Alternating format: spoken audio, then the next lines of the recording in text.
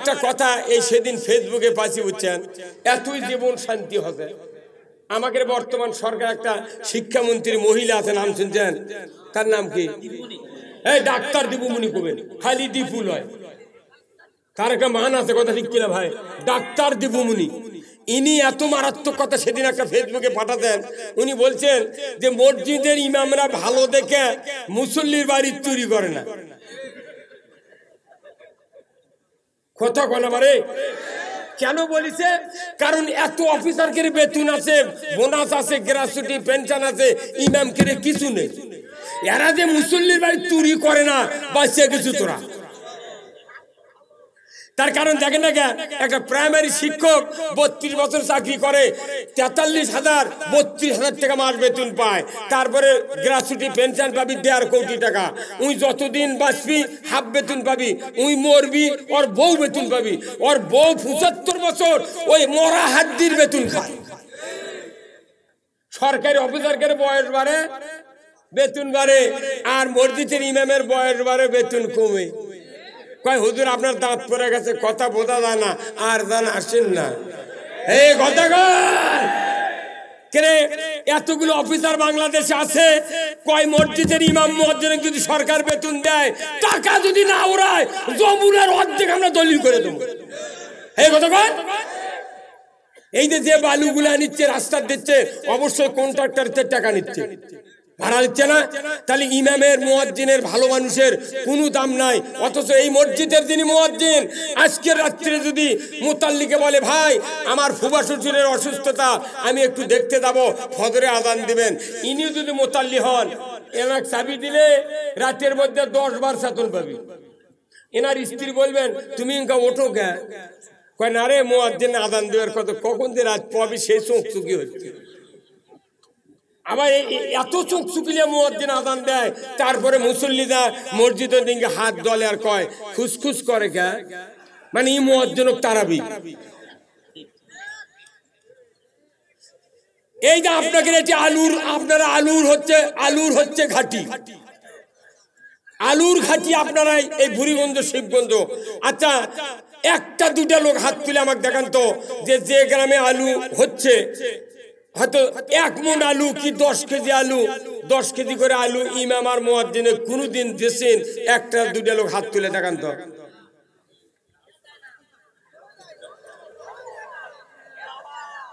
ইমাম আর মুয়াজ্জিনের গর্দয় আলুর দাম কমে যায়।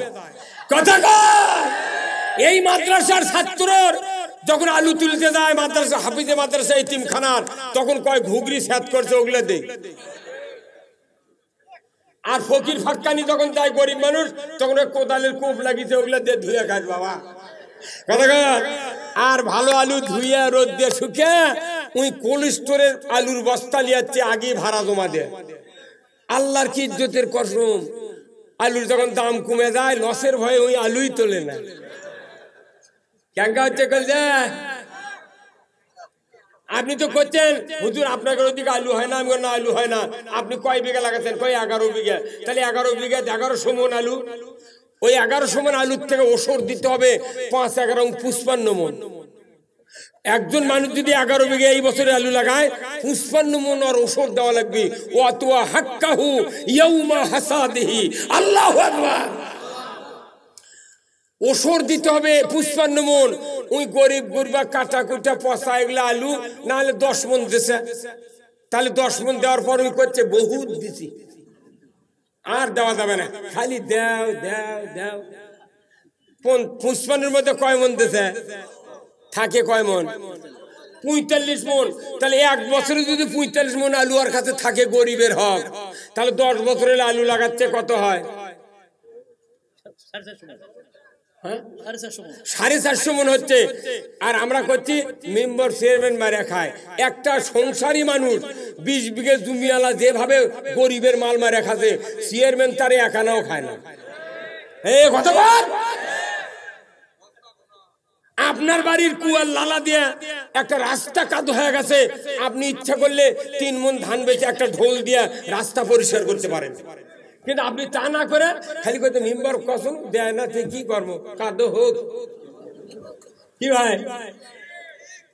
আপনাকে দিচ্ছে চেয়ারম্যান মেম্বার, ওই পায়খানা ফালানোর জন্য, স্বাস্থ্যসম্মত পায়খানার জন্য। সিমেন্টের পাক দিছে। আপনি লিয়ে গরু, গড়া বানাতেন, খ্যার দেওয়া। আর মানুষকে যা গপ্প দিচ্ছেন মেম্বারও ভোট দিয়ে কি করব? এই যে পার্সেন্ট কত মানুষ দিচ্ছে আমাকে দিবেরই চায় না। অথচ গড়া বানাতে নিয়ে নিয়ে এই কথা কোনে কামড়ে? খুব সাবধান। বাড়ির কাছে হেরিমবুম রাস্তা হতে অনেক মানুষের গ্রাম যা দেখবেন, ওই হেরিমবুমের রাস্তা নিচে ডাবরের পাশার তলে। তারপর হাইসাল ভালাতে, তার চৌকির খুরের তলে। আর ওই যা দুম্বাতে নামাজ পড়ছে আল্লাহ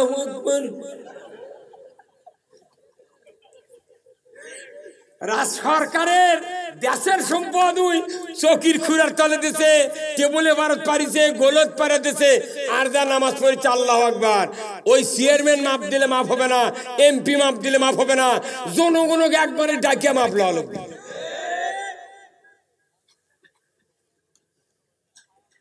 হ্যাঁ, মাথা অটো হয়ে যাবি। চেয়ারম্যান, মেম্বার আমাকে সেবা করার জন্য আছে, কিন্তু আমাকে চরিত্রের জন্য লোকগুলা আমাকে শাস্তি দিচ্ছে। কয়বার দেবো তোকে? তুই লেখেন গরু করা পালার তোর বাড়ির পায়খানার জন্য আমি পাঠ দিছি। তুই এখনও পায়খানা দিবার পারিস রে হ্যাঁ কোরআন শরীফের খালি ওয়াজ নয়, ওয়াজ জাতির ধ্বংস থেকে বাঁচানোর জন্য ওয়াজ হলো কোরআন। তাহলে দেড় হাজার বছর আগে নবী বললেন যে, সৎকায় জারিয়া, এই সৎকায় জারিয়ার কাজের একটা হলো মাদ্রাসা। সুবহানাল্লাহ। এই মাদ্রাসা যদি একটা হকানি আলেম, একটা ছেলে দাখিল পাস করে, ওই আমের আলেম পাস করল, কামেল করল, ফাজেল করল, একবারে আরবির উপর ডক্টরেট করল, সে হালালকে হালাল জানলো, হারামকে হারাম জানলো। এই সন্তান মৃত্যুবরণ যদি করে, কিয়ামতের ময়দানে সত্তর জন লোক সুপারিশ করে, আল্লাহর জান্নাত আর একজন হাফেজ যদি আপনার বংশে থাকে, দশজন লোক সুপারিশ করে আল্লাহর জান্নাতি দিবে। কোন তো এখানে যতগুলো মানুষ আছে, এই মাদ্রাসার থেকে দাখিলি পাশ করে আলিম হচ্ছে কার কার বেটা? হাত যদি তুলবের কই চক দিনের তিনজনও বাড়াবেন বেটা দিলে না ভালো, ওকে কেজি দিচ্ছে। দিয়ে বেদি বানাচ্ছে, তুই বেদি বেদি হয় দা কেজি দিয়ে বেদি বানাচ্ছে, বাইশ বছর পরে আছে হাঁস ধরবি আর খাবি। আর যার লাগ দিয়ে লাল গাল চিপি দিয়ে শিখেন পরে, লাল পরে, তাকে পাও তেরা কানের লতি নাই। কোথা তুই মাথা সাথে ফকরে বিদেশে আদান দিয়ে খাই। আমার আমার আব্বার, আমরা সাতটা বেটা, সাত জনই মাদ্রাসা। গায়ের মানুষ কছে? তোরা ভাত পাবু? এখন আবার গায়ের মানুষ আমাদের ওই গাড়ির ধোঁয়ার দিক থেকে থাকে। যেখানে কোরআন, আল্লাহর কল্যাণ সেখানে আল্লাহ রসুল বলছেন আল্লাহ যার কল্যাণ চান, তাকে কোরআনের জ্ঞান দেন। এই যে মাদ্রাসা বিল নাই, বেতন নাই, তারপরে মাদ্রাসার হুজুররা অল্প বেতন দিয়ে, তারা ডাঁটতে চলতেছে। আর যারা বেশি বেতনে চাকরি করছে, পনেরো দিন দোকানত বাকি খাচ্ছে। ওরকে বইয়ের খোঁজ নাই, বিটি আর খানি যাচ্ছে, বেটা গালা খাচ্ছে। হ্যাঁ? হ্যাঁ, এই কথা গান এই জন্য এই মাদ্রাসার বেতন আপনাদের দিতে হবে। আপনাদের দিতে হবে। যারা সভাপতি আছেন এই মাদ্রাসার সভাপতি আপনি। বেতন কয় করে দেন? এই আলু যা লাগাচ্ছেন আপনারা, দশ মন করে, বিঘেকে পাঁচ মন করে ওসর হবি। বিঘেকে পাঁচ মন, একশো মন আলু স্টিক পাঁচ মন। পাখি যদি ষাট মন হয়, তাহলে আপনার পনেরো তিন মন। এই ওষুধ দিবেন, এই আলু বেচে এর করে বেতন আমি এসে দিয়ে দেবো। আপনি কোটি কোটি টাকার মালিক।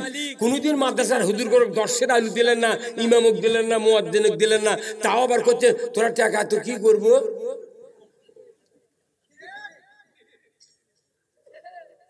এমনি মাদ্রাসাত মানুষ পড়বে তাহলে উনকে বেতন যদি দেখে ছাত্ররা, জীবনে মাদ্রাসাত পড়ব না। ওই দাখিলি পাশ করে একবার আইজুল হক কলেজে দেয়, মহিলা ছাত্রীর সাথে বসে উড়ে তুরে ঠেকে দেয় বাদাম খাবি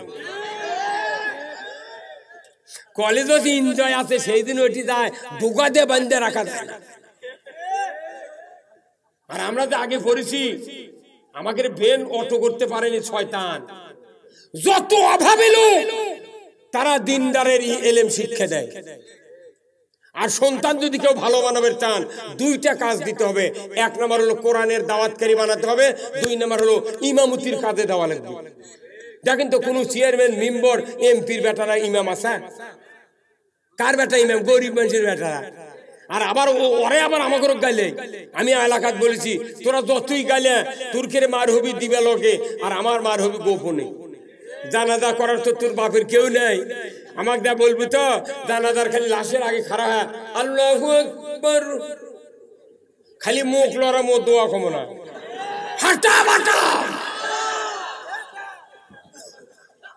এই চেয়ারম্যান সাহেবকে আল্লাহ যদি বেটা দেয়, আমরা বেটা চলে আসতো ভাই। দুই মে জুমত। আলহামদুলিল্লাহ জামা আল্লাহ রসুল বলছেন, কাউরু যদি কন্যা সন্তান একটা হয়, সে যদি দিন এলেম শিক্ষা দিয়ে, যদি সৎপাত্রস্থ দেয়, তাহলে আল্লাহ রসুল বলছেন, তার জন্য এক জান্নাত। দুই মেয়ে হলে দুই জান্নাত, তিন মেয়ে হলে তিন জান্নাত, চারটে হলে চার জান্নাত। এইভাবে যদি হতেই থাকতো, আল্লাহ রসুল বলছেন, সব জান্নাতের মালিক জোরে খান সুবহানাল্লাহ।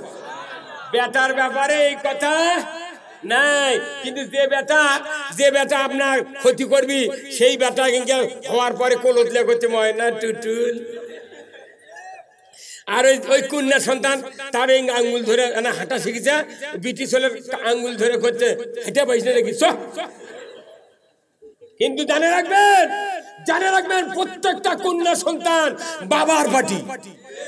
সব কন্যা সন্তান বাবার পাটি, আর সব বেটা মায়ের পাটি। ওই মায়ের সাক্ষাতে বেটা কয়, খালি বিটির টান আমার বাপের।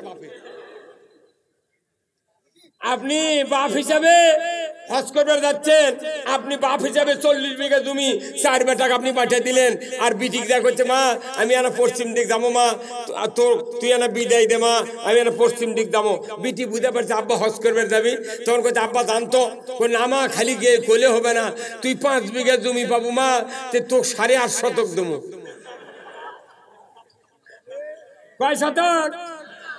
এখন মূর্খ বিটি মনে করতে গেলে পাঁচ বিঘা পামো, তাহলে বোধহয় সাড়ে আট বিঘা দিচ্ছে। আব্বা, মুগরি জব করছে, আপনি ভাত খান তো দোয়া করবেন, আমার জন্য দোয়া করবেন, সম্পত্তি আমার দরকার নাই। আমি মাপ দিয়ে দিলাম, জান, আপনি যা দিয়ে খুঁজি তাই দিন। এখন এই লাল বাবা আপ চিন্তা করতে বাঁচে গেছি। উনি তখন মুগরি জব করে ভাত আনতে দিয়েছে, খায়া দেয়া, বাড়ির দেওয়া করছে, বাবা গাফার সাত্তার রে রহিম, আয় তো বাবা। তুর্কের বুনক মিটে থুয়েছি কি মিটেছেন আব্বা? ছোট বেটা দৈরে আছে কইতে, আব্বা, কি মিটেছেন? কইতে, বা, তোর বোন আট বিঘে সম্পত্তি পাবি, তাকে সাড়ে আট শতক দিবে তোর ছোট ভাই মনে করছে, তাহলে আপা বোধহয় সাড়ে আট বিঘে দিবি। তো কইতে, আব্বা, তাহলে ওই যে বেল তুলির পাতারত, ওই কেশকের ওই কানি ওইটি একটা সাড়ে তিন বিঘার থাক আছে, ওইটা দেন আব্বা। এর মধ্যে বড় ভাই দৌড়ে যাচ্ছে করছে এই তুক পরামর কি দেওয়া হতা চার ভাই চল্লিশ বিঘা জমি বাঁচতে দিচ্ছে আব্বা এই জমি দিলে হালের মধ্যে কমে যাবি না? ওই ওই নামদা বাজারের ওই ওই বুড়িগঞ্জের ওই বাজার নাই ওই নয়নদুলি সাড়ে আট শতক একটা নয়নদুলি আছে গারুয়া চিকিৎসা হওয়া। উই তো বেছেই খাবি। ও গোটে দেওয়া হোক। তখন বাপে ওরই বুদ্ধি শুনে বড় বেটার বুদ্ধি শুনে ওই নয়ন দিলি দেশে পঞ্চাশ বছর বেসপের কাছে ওই স্বামী বিটি কত না আব্বা বেঁচে থাকা পর্যন্ত বিক্রয় হবে না। এমনও বিটি আছে বাপের পক্ষে। যদি বাপের জ্বর হয় ওই বিটি স্বামীর বাড়ির থেকে দিনে সাতবার করে মোবাইল করে কয় মা ও মা আব্বার জ্বর সারিছে মাথার পানি দিয়ে দিছু মা আব্বা ভাত খাচ্ছে। তিন দিন শোনার পর চারটে মুরগির বাচ্চালে বাপক পাক করে খেলে নিয়ে আসে। বাপ যদি মরে যায় ওই বিটি কয়, আব্বা, মরে গেছে। মা, আমার বাপের একটা লুঙ্গি আর পাঞ্জাবি দিয়ে আমি ধুয়ে স্ত্রী করে পলিথনের থমো। যখন বাপের কথা মনে হবি, বকর থেকে বাপের এই জ্বালা আমি নিবারণ করব বিটির কি দয়া রে? সেই বিটিক তুই ভেউ ফাঁকি দিয়া, তুই সাড়ে আট শতক দিলু কেন? এখন পঞ্চাশ বছর পর দেখে, বুড়িগঞ্জের ওই নয়নজুলি তিন লাখ টাকা শতক। আর পাঁচ বিঘা ভেউ পালে উনি পাতারত, পনেরো লাখ টাকা দাম, তিন লাখ টাকা বিঘে। এখন ওই বড় বেটা করছে আব্বা, এগুলো তোমার কাম। কইতে এগুলো তোমার কাম কে? করতে এই এই সাড়ে আট শতক জায়গা থাকলে চারটা ভাই আমরা দোকান করে করে ভাড়া দেন উনি তো এই ভেউ দিয়ে অকাম হয় তখন বাপে করছে এ বদমাস তুই তো করছিলি কথা এই যে ফাঁকি দিল বিটিক। আমার আল্লাহ রসুল বলছেন, মান কাতা মেরা সাহু কাতা আল্লাহ আব্দি। যে ব্যক্তি অংশীদার থেকে কাউকে সার দেয়, বাদ দেয় কাট দেয়, আল্লাহ তাদেরকে বান্দার তালিকার থেকে নাম দেয়, কাটে দেয়। বড় বড় ধনী ধনী মানুষ দিলা শহর বন্ধের বাড়ি, ওই জাগা জমি শহরের এক শতক জায়গা বিটিক দেয় না, খালি বেটাক লেগে দেয়। আর বিটিক করতে তুই ওই গোদার পাড়া ফাতারত পাবো দিলে মেয়ে অনুরোধ করতেছি, আপনার ওই সন্তান একই পেট থেকে হয়েছে ছেলে যেভাবে দিবেন, তার অর্ধেক মেয়েকে দিবেন। এমন ভাই বাংলাদেশে আছে, একবার বোন বলেছে ভাই, বাবা মারা গেছে, পাঁচ বিঘা পাবো। তুমি দুই বিঘা দাও, আমার কষ্ট হচ্ছে ছেলে পেলে নিয়ে। ওই দিন থেকে ভাই আর বোনের বাড়িতে যায় না। শোভা হলে আর দাওয়াতও দেয় না। ওই জানি যে আসলে ওই কথা কবি। হ্যাঁ। আমি অনুরোধ করতেছি, কারু হক নষ্ট করা যাবে না, সেই হক নষ্ট করার না করার উপদেশ কোরআনে আছে আছে না নাই? আসুন না, আমরা সেই সেই মাদ্রাসায় ছাত্র দেব, ছেলে দেব নিজে পড়ানোর জন্য আমরা চেষ্টা করব। একটা সন্তানক আলেম বানাবেন, আপনার মৃত্যুর সময় ইমানের মৃত্যু নচি হবে। আল্লাহ আমার ভাইয়েরা, নবীজির হাদিস, মানুষ যখন অন্তিম শয্যায় শায়িত হয়ে যায় ডান দিকে শয়তান বাবার শুরুতে বসে, বাম দিকে শয়তান মায়ের শুরুতে বসে। বাবা ডেকে ডেকে বলে বেটারে চল্লিশ বছর পর্যন্ত তোমাকে মাথার ঘাম পায়ে ফেলে খাটনি করে পরিশ্রম করে তোমাকে লালন পালন করেছি রে বেটা। মরণের সময় আমি ইহুদি ধর্ম গ্রহণ করে মারা গেছি। তুমি ইহুদি হইয়া মরো, তোমার ভালো হবে। মায়ের সুরতের শয়তান বলে, বেটারে, দশ মাস দশ দিন উদরে ধারণ করেছিলাম। রক্তাক্ত অবস্থায় ভূমিষ্ঠ করেছিলাম। আমি তোমাকে দুই বছর দুগ্ধপান করাইছিলাম। তোমাকে আমি পাঁচ বছর মেথরের কাজ করে দিয়েছিলাম। ও গো বেটা, মরণের সময় আমি নাসারা ধর্ম গ্রহণ করে মারা গেছি। তোমার ভালো হবে, তুমি নাসারা হইয়া মরো। বলুন তো, ওই বাবা মা যে শয়তান রূপী দুইজন বসে আছে কি শোনা যাবে। যেরকম যাবে, আমার নবী বলেছেন, ও ও পুরীগুঞ্জ ভাইরা ও সকসিনার ভাইরা শিবগুঞ্জের ভাইরা দিলের কান শুনুন, এই যে হাফিজা মাদ্রাসা আজকে ইবতেদায়ী মাদ্রাসায় যে সমস্ত প্রোডাকশনে ইমানদার তৈরি হচ্ছে, একটা সন্তান যদি আলিম বানাতে পারেন, নবীজি বলেছেন, তোমার যদি একটা কোরআন পণ্যওয়ালা হাফেজ আলিম মোত্তাকি সন্তান যদি জন্ম দেয়া তৈরি করতে পারো, এই সন্তান যদি মরণের ওই অন্তিম সজ্জার সময় যেদিন তোমাকে শয়তান ধোকা দেওয়ার চেষ্টা করছে, ওই দিন অজু করিয়া যদি তোমার সন্তান কোরআনের সুরাইয়া সিন তেলাওয়াত করতে পারে। বিসমিল্লাহির الرحمن الرحيم. يا سيم والقرآن হাকিম। আমার নবী বলেছেন, সূরা ইয়াসিন যখন নিজের কলিজার টুকরা সন্তান তেলাওয়াত করে যখন কর্ণ করে আপনার আওয়াজ চলে যাবে, আপনি তখন বলবেন, এই তো আমার সেই সন্তান যাকে আমি চকঝিনা মাদ্রাসায় কোরআন শিক্ষা দিয়েছিলাম, চকঝিনা হাফিজে মাদ্রাসায় কোরআন শিক্ষা দিয়েছিলাম, এই তো সেই সন্তান আজকে আমাকে মরণের সময় কোরআন শোনাইয়া দিচ্ছে। আল্লাহ নবী বলেছেন, এই কোরআন শোনা মাত্রই দুই দিকের দুইটা শয়তান লাফিয়ে পালিয়ে যাবে। নবীজি বলেছেন, মদিনার রওজাত থেকে আমি এসে আমি ওই উম্মতের সাথে দেখা দেব। বলব, আমার উম্মত, তোমার ভয় নাই ভয় নাই। তুমি আমি রসুল, আমার চেহারা দেখো আর কালিমা পড়তে পড়তে ইমানের কোলে তুমি ঘুমিয়ে যাও। আমার ভাইয়েরা, যদি ইমান নিয়ে মরতে চায়, সন্তানগুলিকে আলেম বানাতে হবে। কি কথা কন একটা বানিয়ে দেখেন কি মজা। আর ওই যদি সন্তান কোরআন পড়ের না থাকে, মসজিদের ইমামক ডাক- আনতে আনতে ওই আজরায়েল জানলে মুড়িগঞ্জ নাম দিয়ে বার হয়ে যাবে। ঠিক মুটি ঠিক, তো ব্যাটিক কুন্ডে মোট ঠিক কয়, একজনও পরে না, আমাকেও কয় যে, হুজুর, রাত গেলে এত টাকা, তাই বারে আপনি এত টাকা। তা আমি তখন কই, তোকে আমার সাথে মাথা সাথ দিছিল, তুই পলে গেছিল তুইও পাইল আয়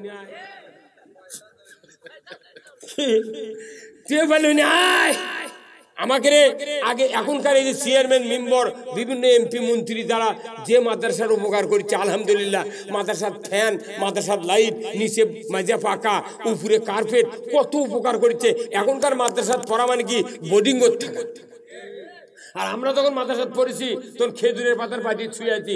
পেটত খেজুরের পাতার ফটোকপি হয়েছিল কি ভাই? আর প্রতি আশ্বিন কাতিমের শীতের প্রারম্ভে এত চুলকানি পচারি হচ্ছিল। লোকের চিপাত ঘাও, পাশার চিপাত ঘাও। দশ কেজি করে গোস্ত চুলকে ফেলে দিতেন। এক কেজি গোস্তর দাম তখন করছি কয় লাখ? ষাট লাখ। তাহলে বছরে দশ কেজি চুলকে ফেলে দিছি এই কত তাহলে দশ কেজির দাম কত হচ্ছে? দশ হাতে পাঁচ লাখ। হ্যাঁ? ষাট লাখ টাকা কেজি আর করছে দশ হাতে পাঁচ লাখ। ই মরদ রে কি রে? হ্যাঁ?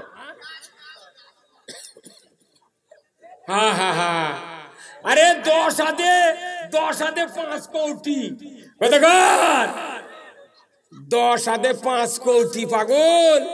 তুই এগুলো গোস্ত চুলকে ফেলে দিছি, বক্তৃতা করে টাকা মামলাতে তুই পাবু। তুই বাবুরি বিড়ি খায়া? আমরা ইচ্ছা করলে ডেলি এক প্যাক ডারবি মারা পারব। আমি এক প্যাকেট গোল্লিপ মারতে পারব, কিন্তু আপনাকে ভয় খাই না। কারণ যদি ছবি তুলে ফেসবুকে ছাড়েন, একটা মানুষ বক্তৃতা শুনবেন আমি অনুরোধ করতেছি অনুরোধ করতেছি, একটা বেটাক একটা বিটি মহিলা হাফেজা বানান, আপনার ঘর জান্নাতের বাগান এই মাদ্রাসা ছোট থেকে মনে করে, এখানে লেখাপড়া ভালো হয়, এখানে লেখাপড়া ভালো হয়। একটা বেটা, একটা নাতিক একটা ভাইস থেকে আপনি কোরআন বানান। প্রতি বছরে, প্রতি শতাব্দীতে আপনার বংশে একজন আলিম থাকতে হবে। রসুল বলছেন, কোন গ্রামে যদি, কোন বংশে যদি একজন হক্কানি আলিম থাকে, ওই বংশের যত কবরস্থান আছে, ওই কবরস্থানে আদাবের ফেরেস্তা যাবে না। আর একটা হক্কানি আলিম গায়ের মধ্যে দিয়ে হাঁটে গেলে হাঁটে গেলে চল্লিশ দিন কবর আজাব মাপ আর আপনার বাড়ির যদি হক্কানি আলিম তৈরি হয় ওটা আজাবই হবে। এই কামটা না করে আপনি হাওলাত করা মুন্সি দিয়ে জানাজা করছেন আপনার বাপের কব্বর করবি লিওর, আর যাই জানাজা করল মুন্সি, ওরই বাপের কব্বর সোয়াবের ঢল। টেকার খাওয়া বাদনি যখনই রব্বির হামহুমা আমি বলি, তখন আমার বাপের কথা মনে হয়। আর আপনার বাপ গোল্লায় যাই থাকবে এই কথা বল না আর যদি একজন আলিম বেটা থাকে, জানাজার ইমাম হয়, তাকবিরে তাহারিমা বাজবে, প্রথম সানা পড়বে, সানা পড়তে কমপক্ষে তিন মিনিট লাগবে। তারপরে দ্বিতীয় তকবির দিবে, দরুদ শরীফ শুরু করলে সাত মিনিট টাইম লাগবে। মনে মনে বলবে, আল্লাহ, এই তো আমার সেই বাবা। যখন বুড়িগঞ্জের হাটে যাইতাম, আব্বার কাছে টাকা চাইতাম, টাকা নাই, তারপরে ঘুরে ঘুরে পকেটের থেকে পাঁচ টাকা বার করে দেয়। আজকে আমার বাবা দুনিয়ার থেকে বিদায় হয়ে সামনে শুয়ে আছেন। আমি দাঁড়িয়ে জানাজা করছি, আল্লাহ, দুনিয়াতে হাজার হাজার লক্ষ লক্ষ বাবা চোখে পড়বে, কিন্তু বুড়িগঞ্জের হাটে আর কেউ আমাকে টাকা দিবে না। ও আল্লাহ যে সন্তান আমি, আমাকে কষ্ট করে বাবা মাথার ঘাম পায়ে ফেলে বুড়িগঞ্জয় এই মাদ্রাসার থেকে করালো, দাখিল করালো। আল্লাহ গো, সেই আজকে জানাজার দোয়ার সময় দরুদ পড়তেছে। আল্লাহ নবীর করে, ইব্রাহিম সাল্লামের করে আমার বাবার জীবনের গুণ আপনি মাফ করে দেয় তৃতীয় তকবির দেওয়া হবে। এরপরে যখন দোয়া শুরু করবে, কমপক্ষে দশ মিনিট লাগবে, চোখের পানি বাড়াবে। এই তো আমার সেই জন্মদাতা বাবা। আমার রবি বলেছেন, যদি কোনো সন্তান পিতামাতার জানাজার ময়দানে দাঁড়িয়ে কাঁদতে কাঁদতে ভিতরে এমনভাবে ফাঁপড় আটকে যাবে চোখের পানি যদি এক ফোঁটা মাসির মাথার মতো নাকের ডগার কাছে আসতে থাকে, নবীজি বলেছেন, নেক সন্তানের চোখের পানির এত দাম, নাকের ডগার আসার আগেই ওই মৃত্যু পিতামাতার তামাম জীবনের গুণ আল্লাহ মাফ করে দেবে এইরকম সন্তান বানার লেগে কইলা একটা পুলিশ যদি কারু বেটা থাকে, ওর গরমে গাঁওতি থাকা না বাপরে, কয়ে বুঝে সুঝে কথা কয়। তোর দুনিয়ার ক্ষমতা থাকবে। কিয়ামতের ময়দান আল্লাহ রসুল বলছেন, একজন হক্কানি আলিমের বাবার মাথায় নূরের তাস পরান হবে। তোর এখন মাথায় হেলমেট কিয়ামতের দিন যার বেটা আলিম হবি, হাফিজ হবি, তাদের তাদের পিতাদের মাথা এই দুনিয়ার হেলমেট নয়, যে নূরের তাজ সূর্যের আলো ম্লান হয়ে। আপনি কি চান না যে আমি একটা নূরের তাজ পরি কিয়ামতের ময়দানে একটা বেটাকে আলিম বানাই? আর এই মাদ্রাসার জন্য আপনি খরচ করছেন না বেটাক পড়াচ্ছেন না। কারণ কি? এই দুর্বলতা আমাদের, আমরা বুঝাতে পারিনি। যার কারণে আজকে মানুষ ইসলাম থেকে অনেক দূরে সরে গেছে। আপনার ছেলে যদি আলিম হয়, আপনার সৌভাগ্য কপাল রসুল বলছেন, কোন সন্তান যদি পিতামাতার কবরের কাছে গিয়া সুরা ফাতেহা ক্লাস করে দোয়া করে, চল্লিশ দিন তার কবরে আদাব শিকারীর গুলি মিস হবে, সন্তানের দোয়া মিস হবে। আর এগুলো বেটা না পাই না আপনি কে দিত পড়াচ্ছেন না? বাটাম ফাটাবি। কলেজ পড়ান, কিন্তু আগে কোরআন শিখে হাফেজ বানান, আলেম বানান। এখন তো বাংলাদেশে বর্তমান সরকার অনেক দিন থেকে লাগিয়েছে একই ছেলে কামিল পাস করবি, এমবিবিএস ডাক্তার হবি, আলিম পাস করবি, ইঞ্জিনিয়ার হবি। কতক্ষণ টাকা আপনি পড়েন না তো? এই মোবাইলগুলো আছে, একটা স্যাংরা মানে পড়ছে। আমার ওটি একটা স্যাংরা কলেজে পড়ে, বুঝছেন? কিন্তু ওর সাথে একটা মেয়ের লাইন আছে। এখন ওই মেয়ের নাম দিয়ে যদি নাম্বার ওই ধরা খাবি, বাপ মা কবি কে তোর মোবাইল মেয়ে ছেলে নাম নাম কে? উনি কি বুদ্ধিমান দেখেন এখনকার সে পারা? উনি ওই মেয়ের নাম্বার তুলে ব্যাটারি লো লেখে সেভ করত কি বদমাইশ রে? ওই ওর ওই আপার নাম লেখে ইংরেজিতে লিখেছে ব্যাটারি লো। এখন ওই বাড়িতে গেছে কলেজের থেকে যাই ডাইনিং টেবিলের থতে ইয়ে মোবাইল থুয়ে গোসল করবে গেছে কি বলে পারো? গোসল করছে আর মধ্যে ওই ওই আপা। উনি তো জানে যে এই সময় আমার ডার্লিং এর সাথে কথা হবে। ওই এখনকার মেয়ে চলবে ওই বন্ধু স্বামীর নাম হতে মোবাইলে লিখছে জে এ ইউ এন, জান। এই কি? এখনকার স্বামীর নাম হচ্ছে জান। তোর জান গেল রে? এখন ওই যে, ওই জানে যে সময় হয়ে গেছে কল দেওয়ার, কিন্তু ওই তো আর ওই থেকে জানে না যে এই বাড়ির যা গোসল করবে গেছে। এখন যাহা রিং দিছে, তিন চারবার বাজিছে ওই তো টেবলের পানি সামনে শুনবে পাচ্ছে না। মা এখন চুলের বাড়তে দই যাচ্ছে বাবুরে কে রিং দিল রে? ব্যাটার মোবাইলে দেখি তো, ব্যাটা কোনটি গেল? মা আমার থেকে লেখা উঠেছে ব্যাটারি লো তখন মা চিন্তা করতে যেহেতু মোবাইলের চার্জ নাই উনি একটা চার্জার ঢুকে। উনি তখন ডুব দিয়ে এসে দেখে কেমা ব্যাটারি মোবাইল টিকা। করছে বা কেবেন রিং দিছিল, তে লেখা উঠছে ব্যাটারি লো। তখন মনে করল ব্যাটারি বোধহয় ডাউন হয়ে গেছে। কি ব্রেনের মার দিছে দেখছেন ওই দিকে নাম সেভ করা থাকলে উনি মাও ধরে ফেলে দিল কি বুদ্ধি রে চেংরা এ, কথা বল! এখন আবার আগে তো মোবাইলত কথা বলা লাগিচ্ছিল ডার্লিং এর সাথে। কিন্তু এখন আর কথা কওয়া লাগে না। স্ক্রিন টাচ মোবাইল ও রাত্রে এখন শীত আসছে, তা তুই যুবকেরা খুশি। ল্যাপের মধ্যে বালিশের সাথে কাজ করে ওটি লেখিচ্ছে লেখে লেখে ঠেলা মারছে। ঠেলা মারছে বুড়িগঞ্জ থেকে, জানলা, দরজা সব বাড়ির দেওয়া আছে। কুমিন্দা বার হয়ে গেল রে। একবার ঠেলা মারছে, চলে গেছে শিয়ালি হাত কথা? ওটি যা ওই ম্যাডামের মোবাইলে ক্রিং করে উঠছে। উই তোর খেলে তাই তোরে অনেকক্ষণ থেকে আমি অপেক্ষা করছি, আমার জান কি লিখবে? তখন উই উঠে দেখে হ্যাঁ লেখিতে ঠিক মতো উই আবার ওটি লেখে উই এক ঠেলা মারছে। ওর জানলা বন্ধ করা আছে, ঢুকে গেছে এই চক চক দিনে। আর বাপ করছে আমার বেটা ঘুম পাড়িচ্ছে। ওই ঘুম পাড়ার মরলা ওই ল্যাবের মধ্যে কথা করছে এ, কথা কর হে যুবক ভাই, আপনার দায়িত্ব আমার আল্লাহ করে বলছেন ও কদ রব্বুকা আল্লাহ তাবুদু ইল্লা ইয়াহু ওয়া বিল ওয়ালিদাইনি ইহসানা। আল্লাহু আকবার। আজকের সবার একটা সুখবর শুনেন, এই সবার বুড়ো মানুষ বেশি নেই। স্যাংরা চেয়ারম্যান স্যাংরা শ্রোতা।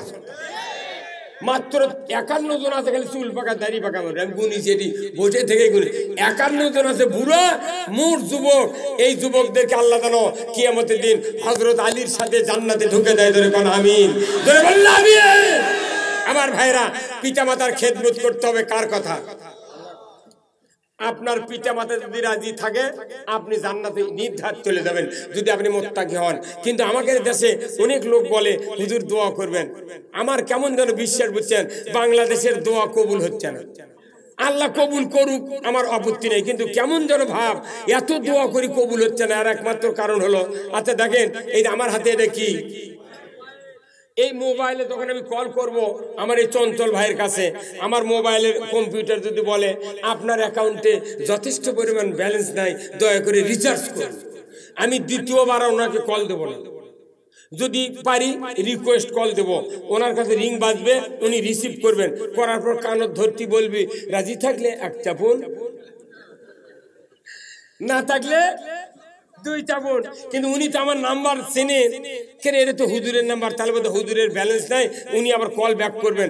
আর যদি আমার নাম্বার না চেনে, উনি তো রাগ করে মোবাইল জোরে থুয়ে কবি, ফকির হচ্ছে এখন তো ইংলিশে ইমার্জেন্সি হাওলাত মানে কি ভিক্ষা? ইংরেজিতে ভিক্ষা কথা কন না কেন? কিন্তু একটা লোক দেখান, যদি বলে মোবাইলে কোন রকমের ব্যালেন্স নাই, যথেষ্ট পরিমাণ, দুনিয়ার কোন মানুষ আর কল দেবে না। কে? আমার কেমন যেন বিশ্বাস, আমরা যত মানুষ দোয়া করি বাংলাদেশে, এই দোয়া করার সময় যদি ফেরেস্তা আল্লাহ পাঠিয়ে দিয়ে যদি কানের কাছে বলতেন যে আল্লাহর বান্দা, তুমি যে ইমান নিয়ে দোয়া করতেছ, তোমার ইমানের যথেষ্ট পরিমাণ শক্তি নেই। দয়া করে তুমি ইমান রিসার্চ করো। তাহলে আলেম আমার বাড়ির সকালবেলা চল্লিশ জন, পঞ্চাশ জন কেমন লাইন ধরত। আপনি মোবাইলের টাকা না থাকলে দৌড়ে দেন ফেলাক দিল ওদের দোকানত। আপনার আবার ইমান কতদিন হেরে গেছে, তারপর তুই দিয়ে ঘুরিতেন ব্যাপার। তখন ওই আমাদের কাছে গেছে, ভাই, এনা রিসার্চ করে দেন তো। তো ব্যাপার কি? সকালবেলা বাপের কব্বর জিয়ারত করে গেছি। ফেরেস্তে এক্ষুনি কানে কানে বলে গেছে যে, আপনার ইমানে যথেষ্ট পরিমাণ শক্তি নাই, দয়া করে রিসার্চ করুন। সেই জন্য তাড়াতাড়ি যাচ্ছি তাহলে ইমান রিসার্চের ডাক্তার হলো আলিমলামা আর ও ঔষধের বই হলো কোরআন। আল্লাহ কোরআনে বলছেন ইন্নামাল মুমিনুনা আল্লাযীনা ইজা যুকিরাল্লাহ ওয়াজিলাত কুলুবুহুম ওয়া তুলিয়াত আলাইহিম আয়াতুহু জাদাতহুম ঈমানাও ওয়া আলা রাব্বিহিম ইয়াতাওয়াক্কালুন। আমার আল্লাহ বলেছেন নিশ্চয় যারা মুমিন, মুমিনের সামনে যখন আল্লাহ সুবহানাহু তাআলার নাম উচ্চারণ করা হয়, তখন মুমিন যদি বান্দা হয়ে থাকে, ওয়াজিলাত কুলুবুহুম অন্তর থরথর করে কেঁপে ওঠে। এমন মুমিনের সামনে যখন কোরআন বারবার তেলাওয়াত করা হয় শোনানো হয়, আমি আল্লাহ ওই মুমিন বান্দার অন্তরে ইমানকে বাড়িয়ে দেই। কোরআন শুনলে ইমান বাড়ে কার কথা? গান শুনলে ইমান মরে কার কথা? শয়তানের কথা। কি? এই দেশে কত গান হচ্ছে হচ্ছে না ভাই কন? এই গান করতে কয়েকটা যন্ত্র লাগে ঢোলক একতারা জুরি হারমোনিয়াম। ঢোলকের তখন দুই দিকে বাড়ি মারে, চামড়ার তখন গুডিং গুডিং সাউন্ড হয় না? ওটা গুডিং গুডিং লয়, ওটা হলো দুচুক দুচুক কি সাউন্ড হচ্ছে? দুচুক দুচুক আবার যখন এই জুরি বাজায় কাঁচার থালত দড়ি লাগানো আছে, একে জুরি বাজায়, এই জুরি কয়, তিনজন তিনজন। আবার একটারের দর টান মারে, কে কে? এই কথাকার কে কে? আবার হারমোনিয়াম আছে, এই যে পাকা, বাঁ হাত বাঁ হাত পাকা টানে আর ডান হাত কলের উপর দেয়। তখন এক মত দেয়া করছে ঢোলক করছে দোদকর যাবি কে কে? জুরি করছে তিনজন একতারা করছে কে কে? তখন হারমোনিয়াম করছে, ই।